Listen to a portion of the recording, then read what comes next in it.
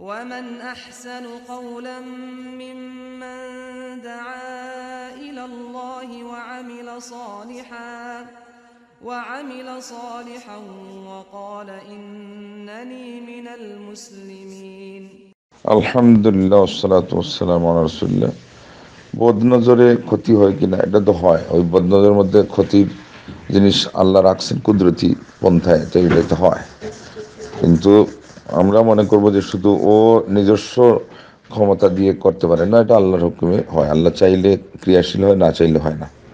অনেকেরই, অনেকেই চায় দিয়ে ক্ষতিগ্রস্ত করতে, কিন্তু আল্লাহ না চাইলে হয় না।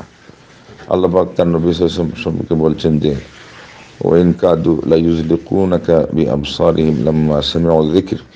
তারা যখন তিলাওয়াত শুনে চায় যে তোমাকে তাদের দৃষ্টি দিয়ে একেবারে ধ্বংস করে দিতে ইন্না লিল্লাহি কত খারাপ খারাপ। কিন্তু আল্লাহ আমার নদীকে হেফাজত করেছেন। এইভাবে আল্লাহ তার বান্ধবকে হেফাজত করেন। সেই জন্য এখানে আমাদের দোষারোপ করতে হবে এই জায়গায় যে ও এইরকম ইচ্ছা করে যদি কেউ খারাপ নিয়েতে তাকায় দেওয়ার ক্ষতি হয়ে যাক, আর আমরা যদি বা সের দিয়ে ওই আল্লাহর নাম না নেই মার্শা আল্লাহ তবরাকাল্লা এগুলো না বলি।